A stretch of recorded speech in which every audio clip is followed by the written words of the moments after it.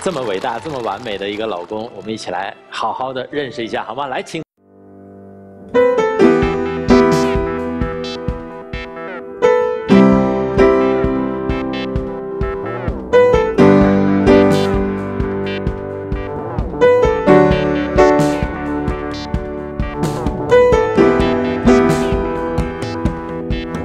我叫陈海俊，来自广东，我是春花的先生。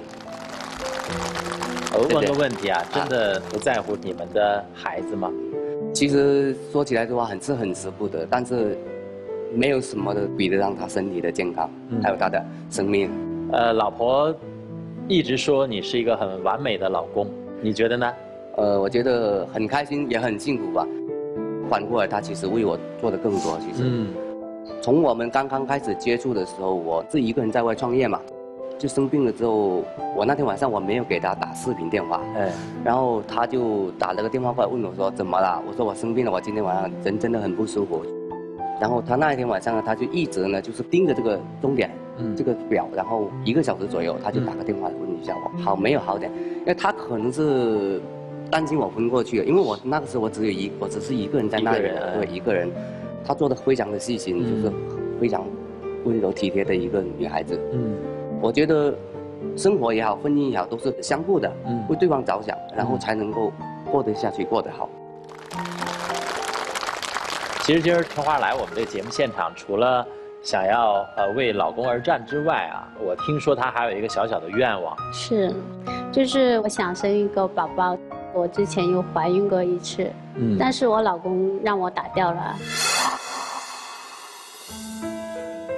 因为那个时候他刚刚是上广州去检查，完全确诊了他这个病之后，是准备做那个切除手术了。但是做切除手术的前一天，他是要做一个全身的检查的，到那个时候才检查出来有了身孕。那个时候呢，就是已经做了非常多的带辐射的这种检查了，所以宝宝可能身体也不会健康。如果说要生这个宝宝出来的话，那么他的手术是做不了的。所以就是说，一定要先保。保证他的人身安全跟身体健康。我现在是这呃手术过后差不多一两年了。嗯，恢复的怎么样？嗯，还比较稳定。嗯，但是我我就想生一个宝宝，他始终不答应。嗯，我希望在这个舞台上他能答应我，因为你为什么那么想生一个宝宝？因为我们两个之间的感情，我想留下一个好美好的东西在这个世上。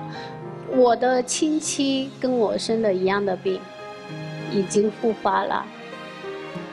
因为医生说，他这个病比较容易复发，就一旦复发之后，可能就会危及到生命安全，他就会没命的。所以我一直都不是很肯让他生小孩去冒这个风险。